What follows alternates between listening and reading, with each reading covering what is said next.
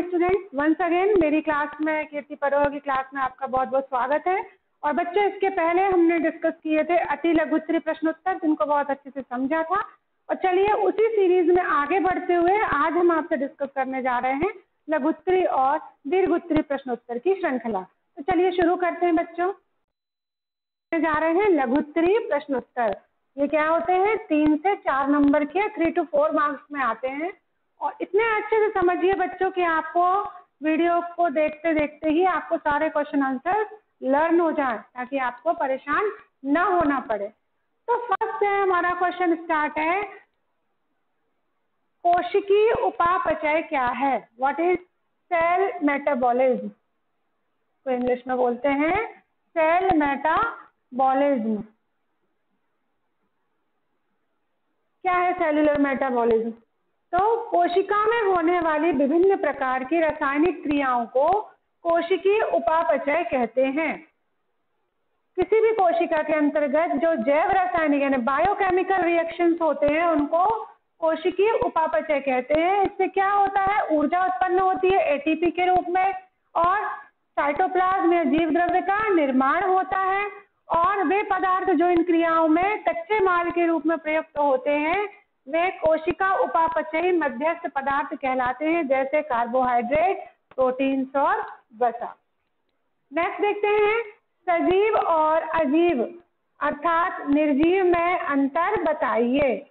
सजीव और निर्जीव में अंतर बताइए। तो सजीव और निर्जीव यानी उसको निर्जीव भी बोल सकते हैं, अजीव भी बोल सकते हैं। तो इसमें अंतर क्या है? इसके अंतर देखेंगे हम।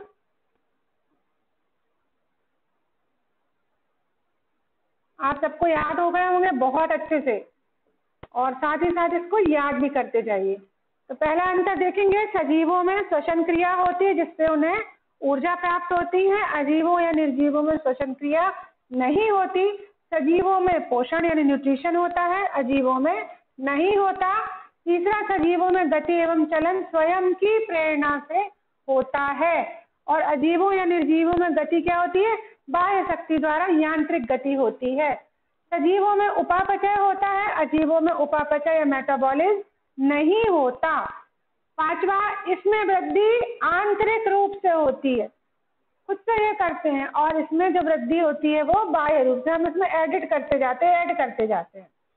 छठवा देखें, इनमें प्रजनन, अनुकूलन आदि क्रियाएँ होती हैं और इसमें इस प्रकार की क्रियाओं का अभाव पाया जाता है। तो ये आपको बहुत अच्छे से याद हो जाना चाहिए कि सजीव और निर्जीव में अंतर क्या है। अब देखते हैं हम नेक्स्ट क्वेश्चन हमारा नेक्स्ट क्वेश्चन है क्वेश्चन नंबर थर्ड अनुकूलन क्या है? What is adaptation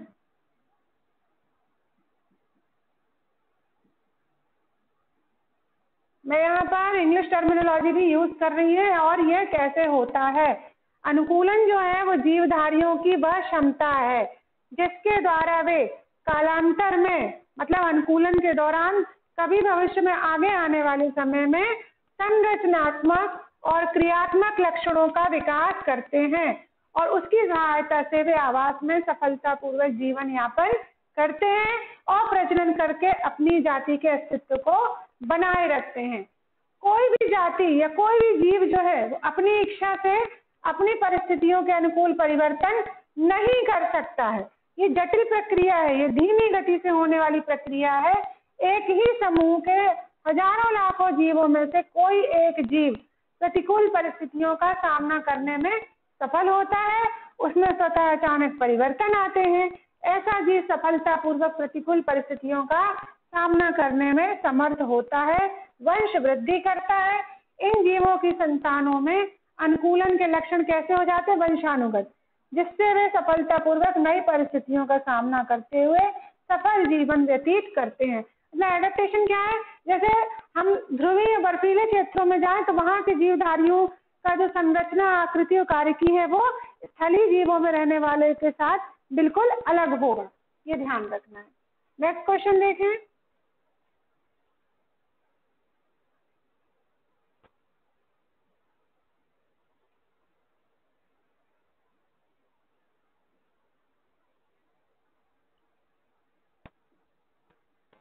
next question की तरफ़ देखें अपन तो क्वेश्चन नंबर फोर अनुकूलन की आवश्यकता क्यों है?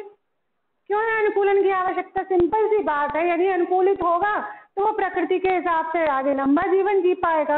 यदि वो अनुकूलन नहीं करेगा तो उसमें उस परिस्थितियों में सरवाइव नहीं कर पाएगा। तो आंसर देखते हैं, कोई भी जाति यदि सफलतापूर्वक बने रहना चाहती है तो उसे अपने आवास की परिस्थितियों तथा उसमें होने वाले परिवर्तनों के साथ सामंजस्य स्थापित करना होगा।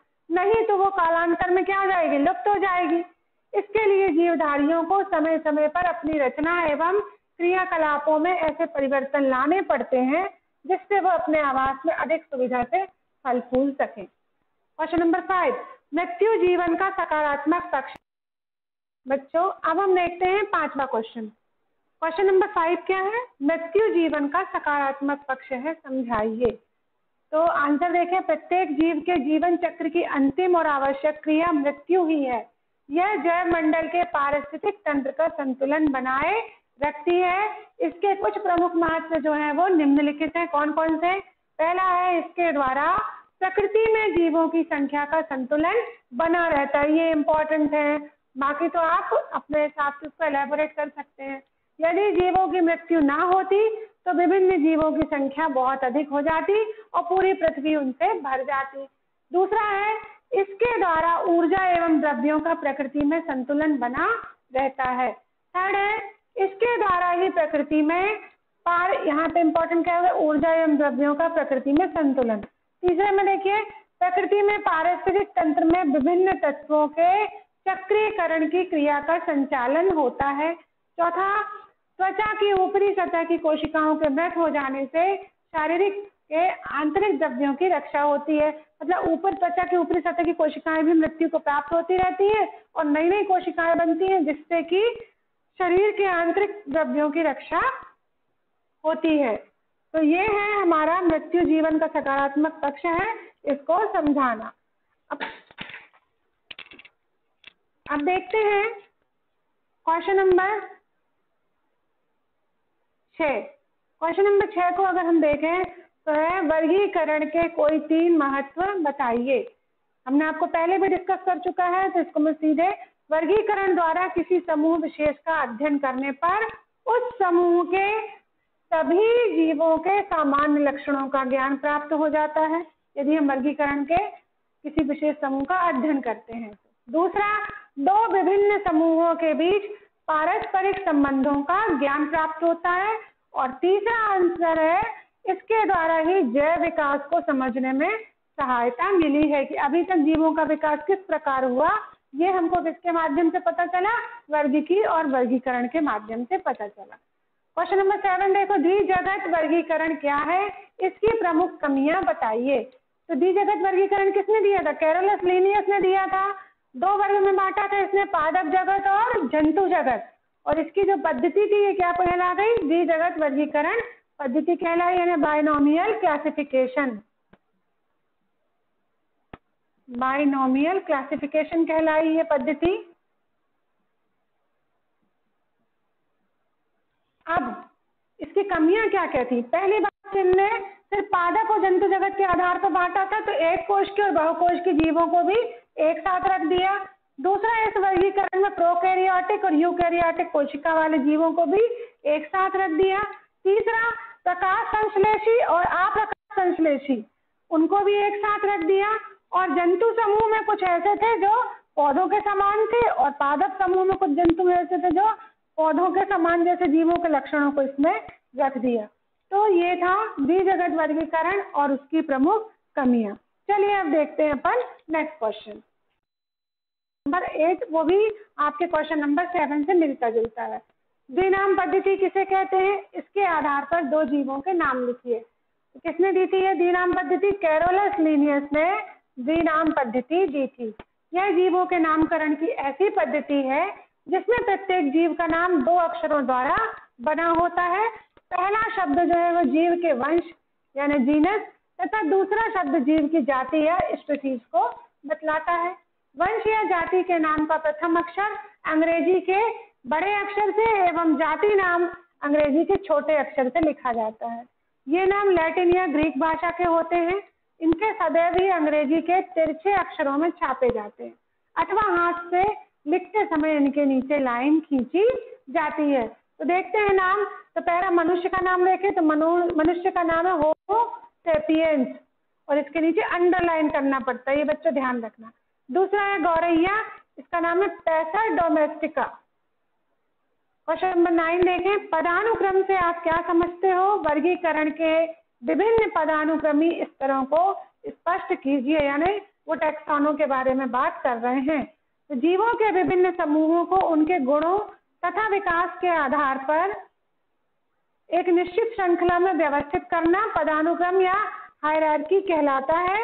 वर्गीकरण के विभिन्न स्तर, प्रकार है। पहला है जाति है स्पीशीज दूसरा श्रेणी है जीनस तीसरा कुल या फैमिली चौथा गण ऑर्डर छठवा वर्ग या क्लास और छठवा है समुदाय या संघ और इसके बाद आता है जगत। तो ये आपको याद रखना है और इसका मैंने आपको प्रीवियस वीडियो में एक बहुत याद करने के लिए बहुत सुंदर सा फॉर्मूला बताया था। अभी नहीं बताऊँगी, आपको उससे नोट करना है। इन स्तरों को क्रम के अनुसार मिलती जुलती जातियाँ एक श्रेणी क्रम में, मिलती जुलती श्रेणियाँ एक कुल में, मिलते जुलते वर्ग एक समुदाय में या संघ में, तथा एक जैसे समुदाय एक जगत किंगडम में रखे जाते हैं। तो अब नेक्स्ट देखते हैं अपन नेक्स्ट क्वेश्चन अपना। नेक्स्ट क्वेश्चन है, जीवों के वंश वृक्ष पर संक्षिप्त टिप्पणी लिखिए। वंश वृक्ष बनाते ना हमारे पिताजी, फिर हमारे पिताजी के पिताजी फिर उनके पिताजी, फिर उनके पिताजी ऐसे ऐसे बहुत लंबी शाखाएँ होती जाती है, फिर उनके भाई। तो क्वेश्चन है, जीवों के वंश वृक्ष पर टिप्पणी लिखिए। जाति वृत्ति सिद्धांत के अनुसार जीवों की प्राकृतिक वर्गीकरण प्रणाली की तुलना हम ऐसे घने वृक्ष से कर सकते हैं, जिसकी पत्तियाँ किसको दिखाएँ? जाति को। छोटी महीनतम टहनियाँ वंशों को, बड़ी टहनियाँ कुलों को, और छोटी शाखाएँ गणों को, और बड़ी शाखाएँ क्लासेस को और मोटी शाखाएँ समुदाय संघों को बताती हैं। आपको मैं एक प्रोजेक्ट दे रही हूँ। आप वंश वृक्ष की जो बनाने की संकल्पना है, उसको आप डायग्रामेटिक ड्रॉ करेंगे। क्वेश्चन नंबर ग्यारह देखें। निम्नलिखित शब्दों को समझाइए तथा परिभाषित कीजिए। तो पहला है संघ या फायला वर्गीकी समुदाय में समानताओं के आधार पर विभिन्न वर्ग अगले उच्चतर संवर्ग संघ का निर्माण करते हैं। पौधों में संघ के प्रथम स्थान पर प्रभाग का नाम लिखा जाता वहाँ संघ नहीं लिखते डिवीज़न लिखते हैं। उदाहरण के लिए जंतुओं के विभिन्न पाँच वर्ग हैं।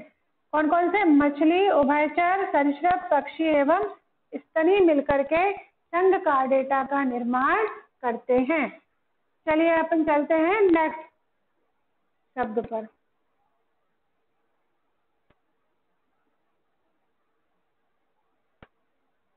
दूसरा आता है वर्ग या क्लास तो अनेक गणों के समान लक्षणों के आधार पर वर्ग का निर्माण होता है। उदाहरण के लिए प्राइमेटा एवं कार्निवोरा आदि गण मिलकर के किसका निर्माण करते हैं?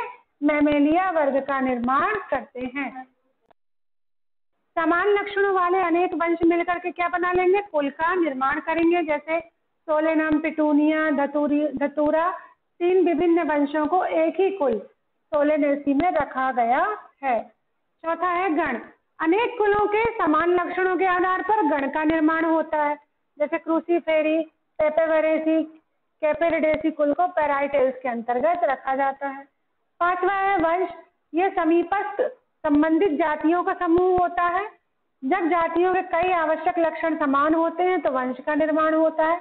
उदाहरण के लिए देखो बेटा, पीपल बरगद अंजीर सभी अलग अलग जातियाँ हैं, लेकिन इनके वंश एक ही, यानी फाइकस में रखा गया है। फिर है क्वेश्चन नंबर बारह।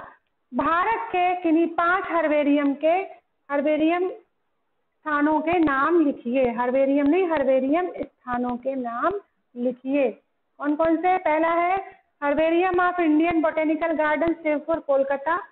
दूसरा है, herbarium of forest research institute and college, Dehradun. तीसरा है, फॉरेस्ट हर्बेरियम शिलोंग। चौथा है I A R I herbarium New Delhi. और पांचवा है herbarium of national botanical garden, Lucknow. इनको आपको बहुत अच्छे से नाम याद करना है। ये इम्पोर्टेंट है। नेक्स्ट देखते हैं। क्वेश्चन नंबर थर्टीन ये मैं आपको बहुत अच्छे से बेटा समझा चुकी थी, जब मैंने आपको हर्बेरियम पढ़ाया था। किसी पौधे को हर्बेरियम शीट पर लगाते समय किन बातों का उल्लेख होना चाहिए? तो कौन कौन सी चीज़ें उनके साइड में बताया था ना, कि अपन हर्बेरियम शीट बनाते हैं, उस पर उस पौधे को स्टिक करते हैं, इस प्रकार से अपन एक प्लांट को स्टिक कर लिया यहाँ पर, और ये साइड में यहाँ पर इन चीज़ों को हम देते हैं डिस्क्रिप्शन पहला फ्लोरा दूसरा सीरियल नंबर ऑफ़ प्लांट तीसरा बोटेनिकल नाम of name of the plant चौथा फैमिली पांचवा जीनस छठवा स्पीशीज सेवेंथ लोकेलिटी किस स्थान से इसको प्राप्त किया गया है एल्टीट्यूड कौन से देशांतर से हैबिट कहाँ पे है आवास क्या है उसका डेट ऑफ़ कलेक्शन क्या है? इकोलॉजिकल नोट यदि कोई है तो और कलेक्टर्स नेम यानी जिसने लिखा है। तो ये थे बच्चों हमारे लघुत्तरी प्रश्न। अब दीर्घोत्तरी प्रश्न। आपको एक प्रोजेक्ट के रूप में काम करना है कि सजीवों में पाए जाने वाले लक्षणों को क्या करना है? संक्षिप्त रूप से वर्णन करना है। जो मैं आपको अपने प्रीवियस वीडियो में करा चुकी हूँ। थैंक यू बच्चों। आप लोग बहुत अच्छे से इसको नोट करें, अच्छे से लर्न करें और नेक्स्ट वीडियो में हम इसके आगे के अध्याय को पढ़ेंगे और समझेंगे।